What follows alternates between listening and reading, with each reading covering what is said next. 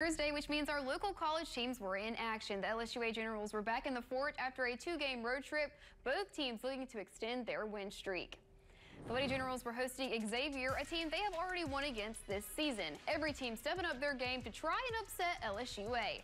Xavier came out firing in this one. Charlotte McGee steps up and nails the mid-range jumper.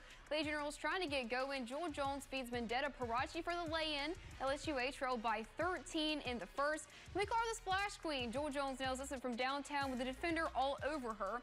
McGee putting the moves on LSUA, though. The three ball from Dana Martin Hartwick then cuts the, into the Gold Nuggets lead at the break.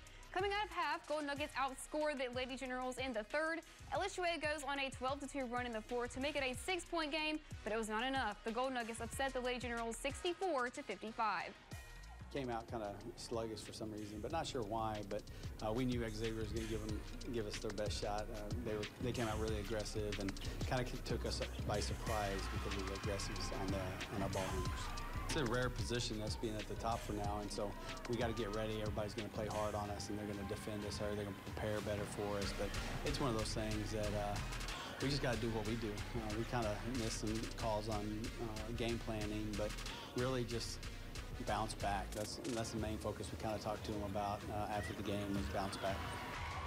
And going